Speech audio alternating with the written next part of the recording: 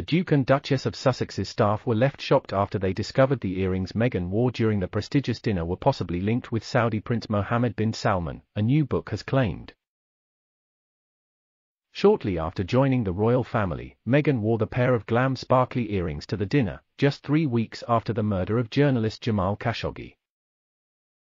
Harry and Meghan's staff believed that the opulent earrings were borrowed from a jeweler, but royal expert Valentine Low's new book, Courtiers, The Hidden Power Behind the Crown, claims that it was not true that they were being lent out. He adds that Meghan's staff were then left bemused by the idea Meghan would knowingly wear earrings given to her by a man accused of having blood on his hands. But a decision was made not to raise the issue with the couple, the Daily Mail claims. Mr. Low quoted a source saying, We made a decision not to confront Meghan and Harry on it. But just a few weeks later, the Duchess wore the earrings again to then Prince Charles' 70th birthday party. Mr. Low claimed on that occasion, one royal aide brought up the matter with Prince Harry, who was reportedly shocked that people knew the origins of the extravagant jewels. But the Sussexes' lawyers have since claimed the Duke was never questioned. Speaking on behalf of the couple, law firm Schilling said, it is possible she said the earrings were borrowed, which is correct, as presents from heads of state to the royal family are gifts to Her Majesty the Queen, who can then choose to lend them out to members of the family. The lawyers also maintained Meghan didn't know about the Saudi prince's suspected involvement in Khashoggi's murder.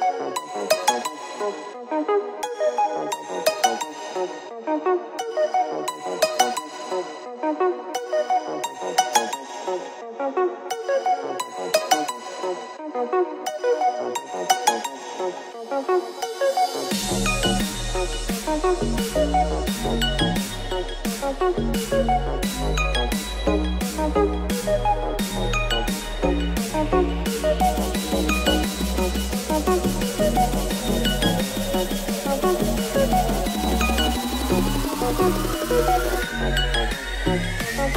ッ